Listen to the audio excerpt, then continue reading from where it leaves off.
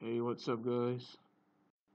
In this tutorial, I'm just going to show you how to create guide points on slope so that you could create lines on a slope by using 1001bit Tools plugin. To demonstrate this, I'm going to create a slope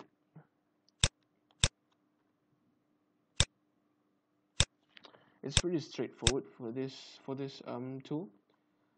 Because what you need to do is basically determine the face and then right afterwards just need to determine the uh, reference point.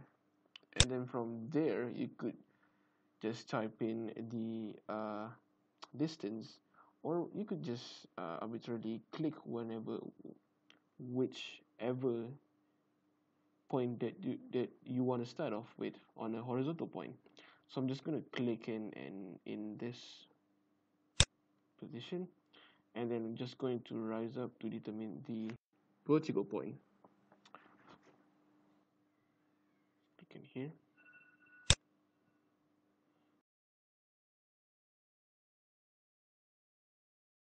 And let's just create the second point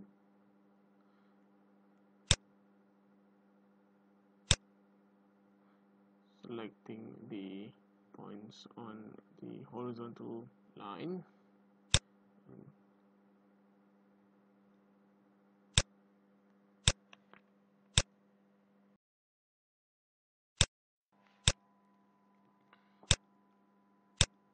And then we're going to finish off the final point. Going to connect all of the points with the line tool you could also see that the lines is in closed loop. You could also push pull it using the push and pull tool